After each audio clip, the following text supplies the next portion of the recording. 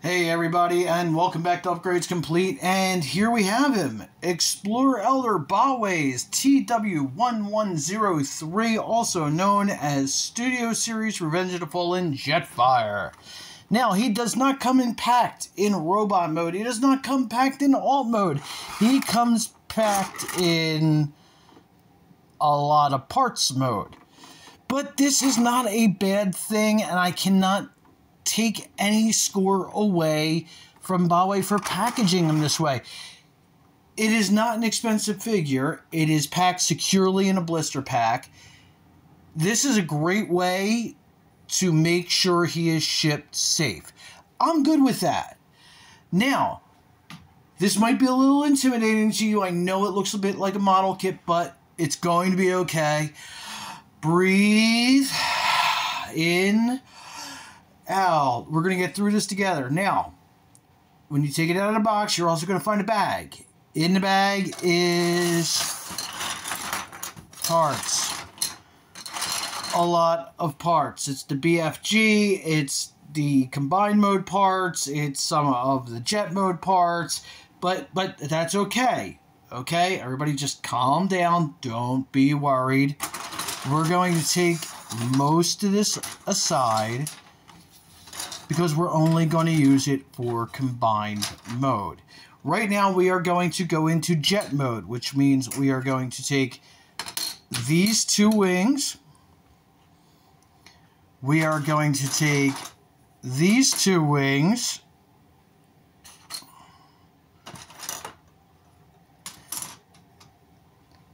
And we are going to take this little back piece, which is actually great. I love this piece.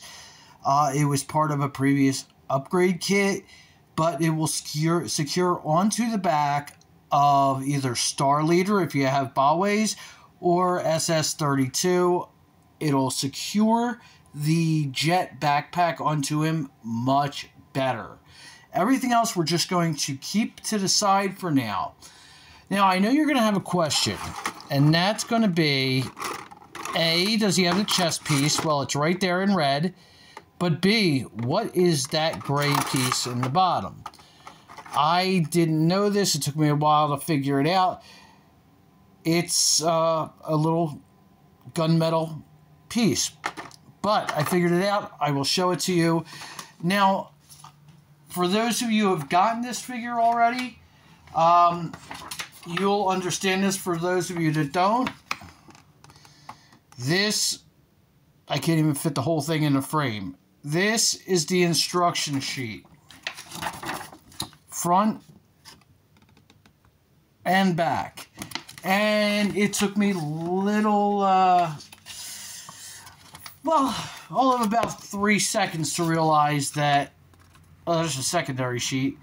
Took me about three seconds to realize this is going to be of zero use to me. So I did everybody a favor. I went online, looked at some of my favorite reviewers to see the upgrade kits, the figure, how it would all go together, work together without any fuss or muss. And I have to admit, after doing this a half dozen times trying to figure it out, it is a lot easier than I originally thought.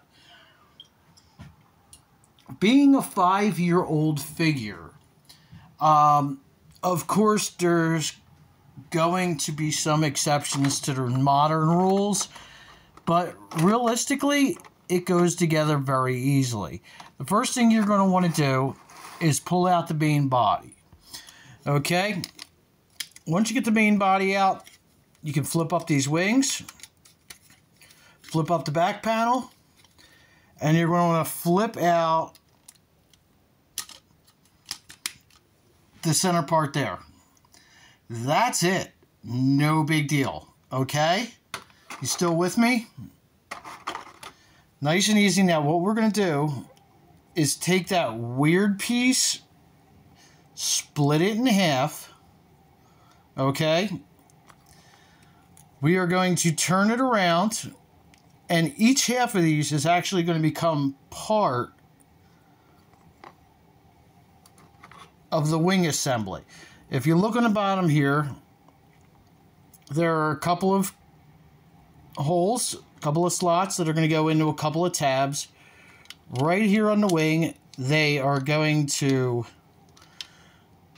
make sure you have the right side first because I've done this enough times to know that I probably have the wrong side. And I do, I think.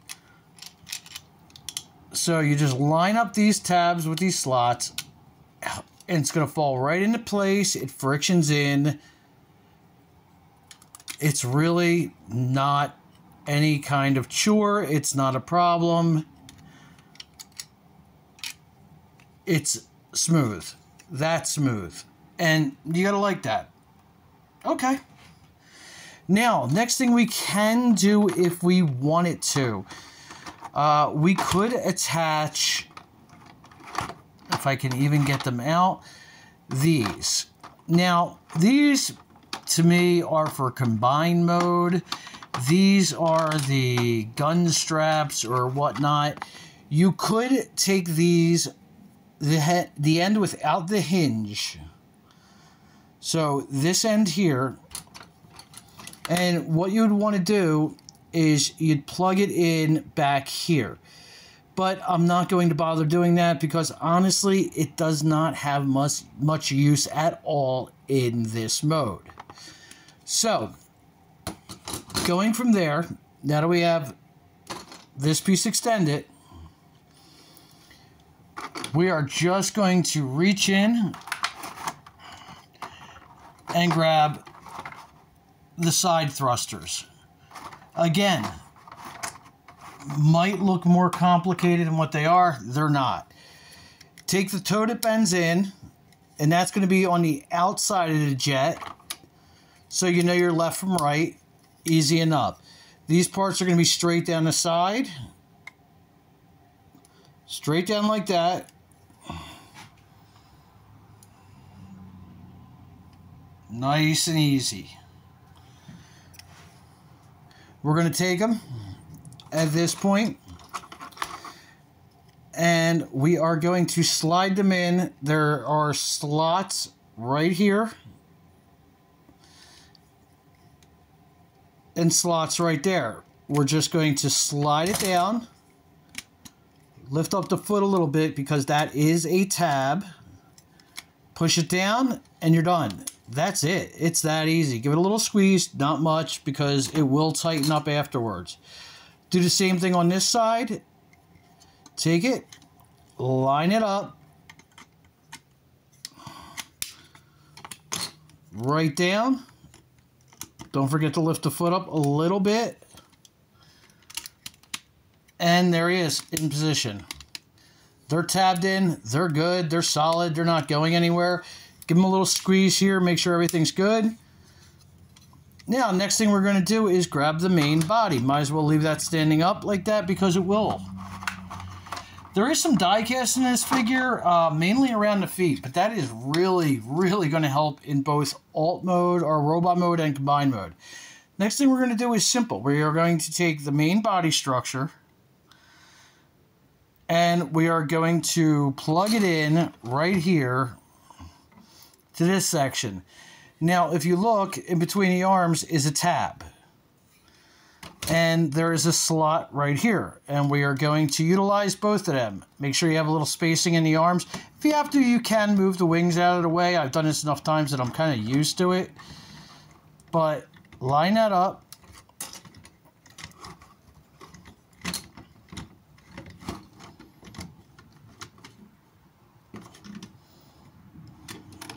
Give me a second.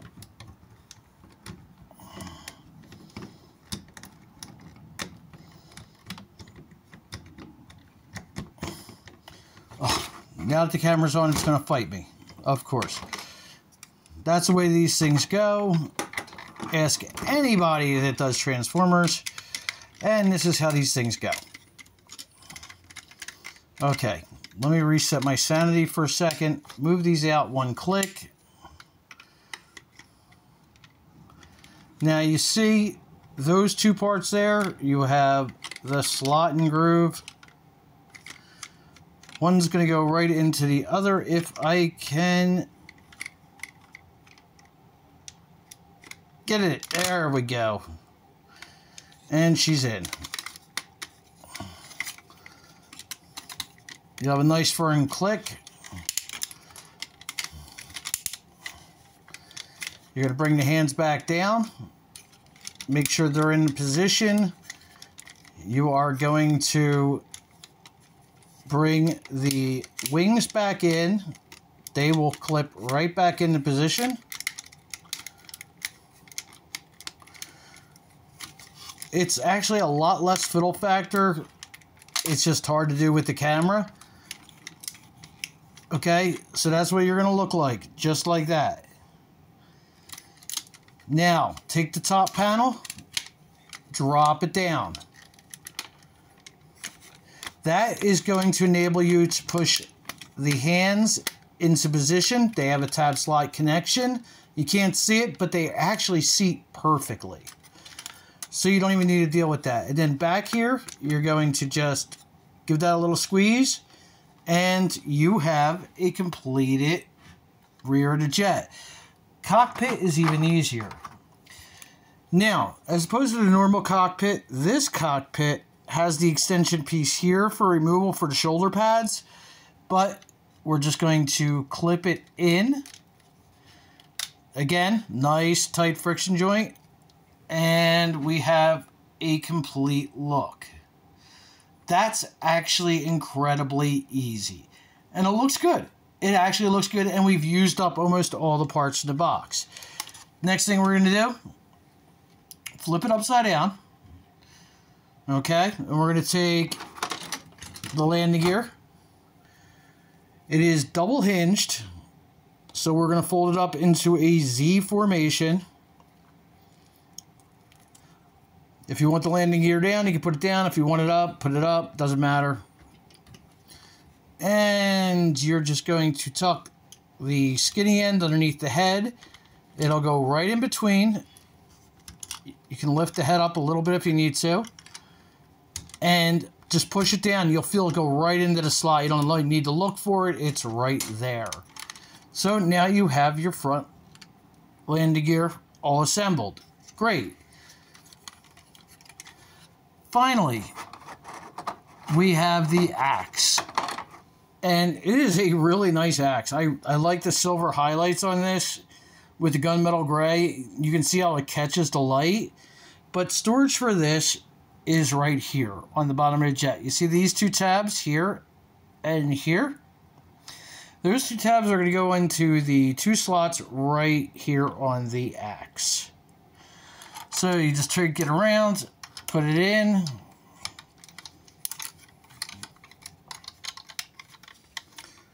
Line it up right in the center and push those tabs in. Now, it's not the most secure connection, but that's no big deal because we're going to take these, the extra wing pieces, and we're going to plug them into where the rear landing gears are. There's actually a nice little port there just line it up and push it in. Same thing on the other side. Just like the first, line it up, push it in. And there you go. Now it's holding the axe. Everything's holding extremely firmly. And you're good. Now, the other part we were going to keep, if you remember, was the back piece that'll be the jetpack. And you take this slot here, peg here, push it right into the back. That's it. Forget about it. It's done. That easy. Looks decent, works well. That's all you need. Functionality. Now, these can look complicated. These wing sections, they're actually really not. Bring around the front of the jet. Underneath the head, there are two tabs. You can lift the head up if you need to, or you can just feel your way behind the landing gear. And there are two drop slots that they peg right into. So, this hole right here is going to peg into the slot right here.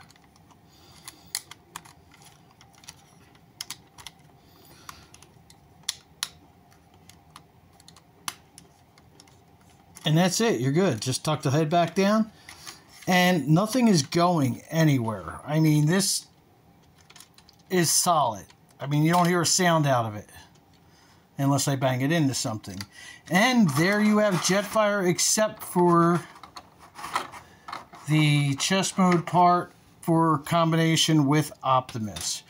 Now we can get rid of that plastic, put Jetfire down, and take a look at him.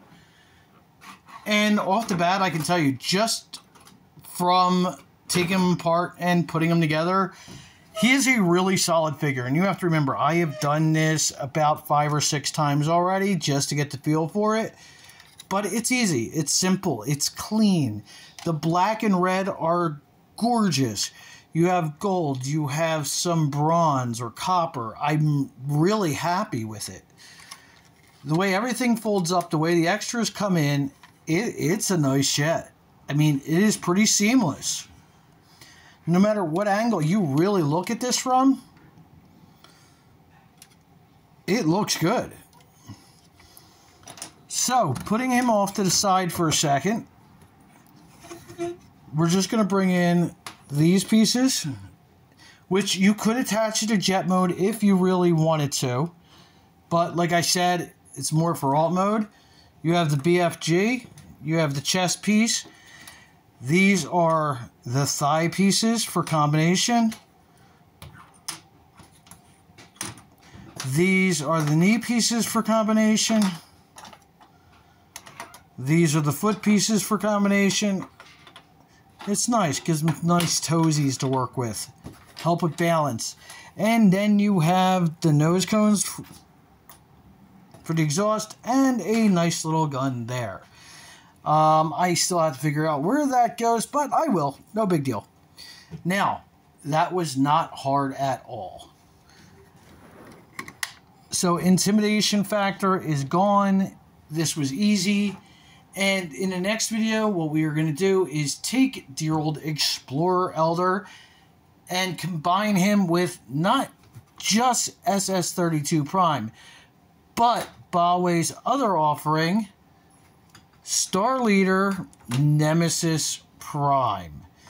Now, tell me these black and reds and purples are not going to look excellent with Jetfire.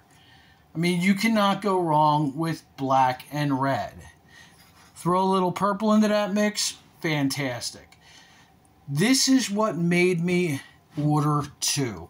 One to keep in jet mode, one to keep in combined mode. And we are going to get into combined mode next.